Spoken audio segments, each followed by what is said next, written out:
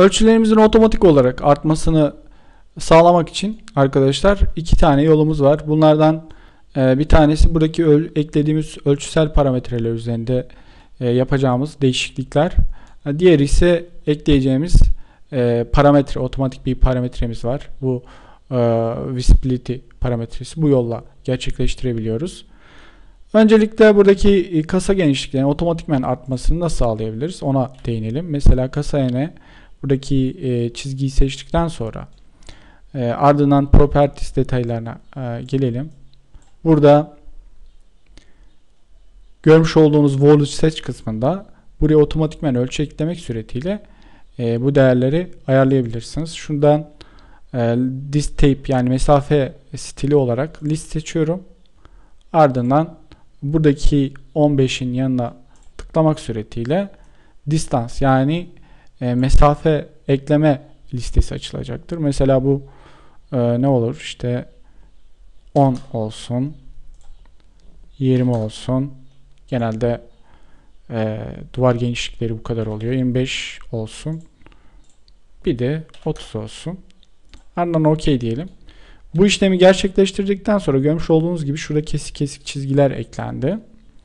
E, böylece e, bunun otomatik olarak hangi e, değerlerde atacağı yani 10 olacağı, 15 olacağı, 20 olacağı, 25 ve 30 olacağı e, anlıyorum. Yine kapı eni ile ilgili bir ayarı gerçekleştirelim. Buna da çift tıklayalım. Tabi burada dış ölçüye bir bakalım. D'yi enter. Dış ölçümü şu anda 90. İç ölçüye bakalım. Buradaki iç ölçü ölçüyoruz. Ne kadarmış? 82. E, dolayısıyla biz 82 72'lik bir e, kanat genişliği demek ki 90'lık kapı oluyor. 72'lik bir kanat genişliği de bu durumda 80'lik kapı oluyor. Yani her değerden 8 e, santim düşeceğiz. Buradaki parametremizi seçtikten sonra aynı işlemi volus set kısmından buradan liste tıklamak suretiyle yapıyoruz. Yine list volus liste tıklayarak açılan pencereden 72 at 62 at bir de 92 yapalım. 92 demek yüzlük kapı demek. 82 demek ee, işte 90'lık kapı demek gibi. Bunları da ayarladık.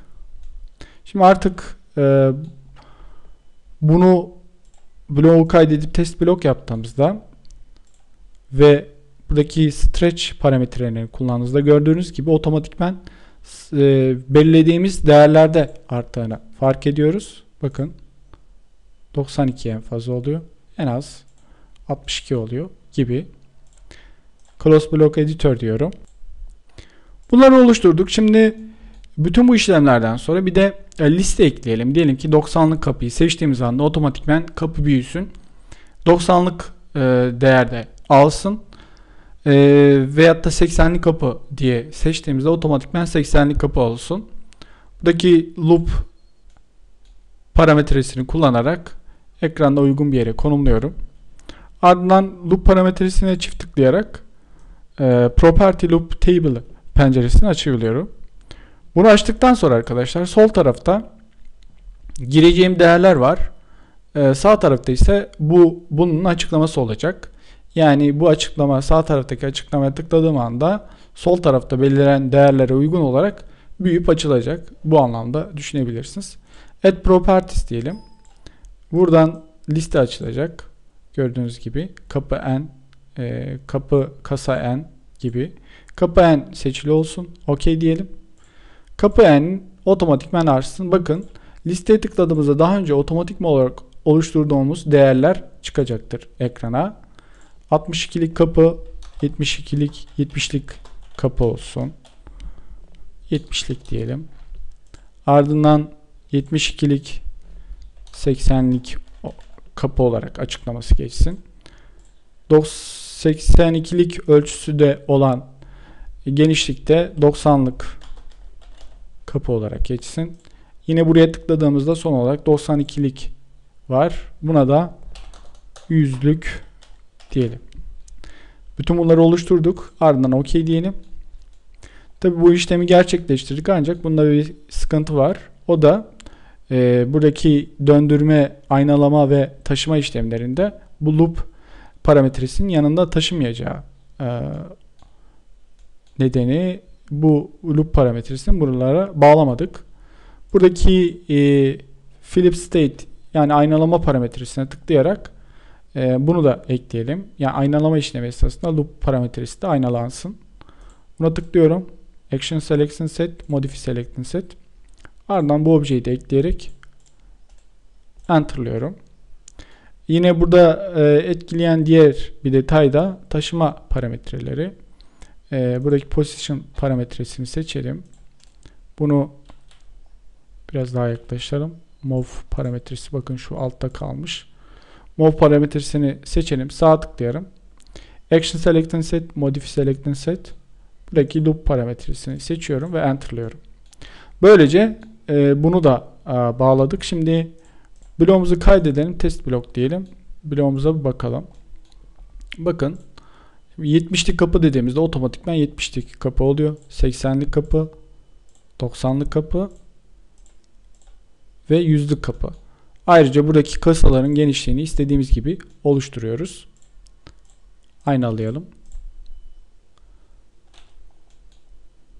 Tekrar blok editöre dönelim. Artık bloğumuz hazır son haliyle.